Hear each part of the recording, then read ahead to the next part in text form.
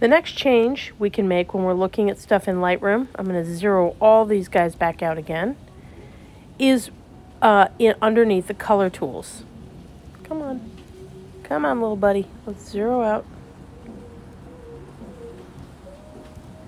You're supposed to be able to just double tap on the, or maybe it's tap and hold uh, to get that. My thumbs might just be too big. That might just be the problem too. So let me just use my little po pointer. Okay, so we're real close. All right, so now I'm going to go over to the next bank of tools, color. Let's look at how color impacts.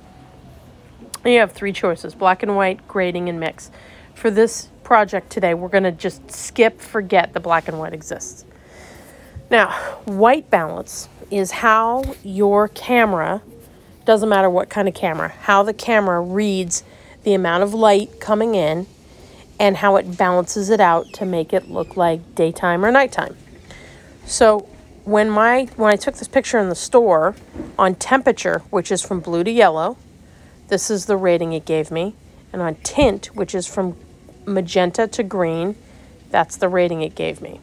And the other choices we have under here are saturation, vibrance, and those that's what we're going to look at now, okay? So the first one is if I slide around the temperature. If I slide it in the opposite direction, you can see it adds a ton of yellow. And it's actually measuring what's called Kelvin. It's measuring um, the visible spectrum of light. If I go in the opposite direction, it makes the whole picture look like it's got blue involved, overlapping it. Okay? In terms of this particular picture, I like things being fairly as I saw them. I don't need this picture to turn all blue or all yellow. Same thing down here. Tint, Positive tint makes things go magenta. Negative tint makes things go green. You'll notice whenever you're using the positive values on any of these things and you're pushing things up, you'll start to see things look like they lose focus. That happens particularly with saturation. Get this back down to here. Get that right back down in the middle. So, okay, so I've reset my temperature tint. Now, here's where we see big differences. And this is one that you guys might like a lot, but I'm going to warn you to really make choices about how you use this. So saturation takes all the colors at the exact same time and pumps them up.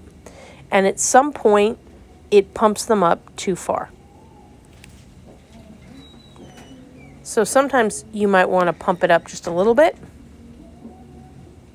and that looks good. But if I go up too far, what's going to happen is parts of the picture are going to look like they're out of focus. They're going to, the color is actually, the color information is being destroyed. It loses its um, detail. So you want to be very careful when you're using the saturation slider. The other slider you have is called Vibrance. Vibrance is going to selectively bring up the colors that could handle being um, having their saturation increased and also wouldn't be destroyed. So it tends to protect skin tones. It pretends to um, think that we're hanging on to a, um, a portrait of a person. So if you watch, some of the more uh, skin tony type colors are not going to blow out. But in the Vibrance tool, you can push up the color really high, make things be very bright and get good changes. Okay.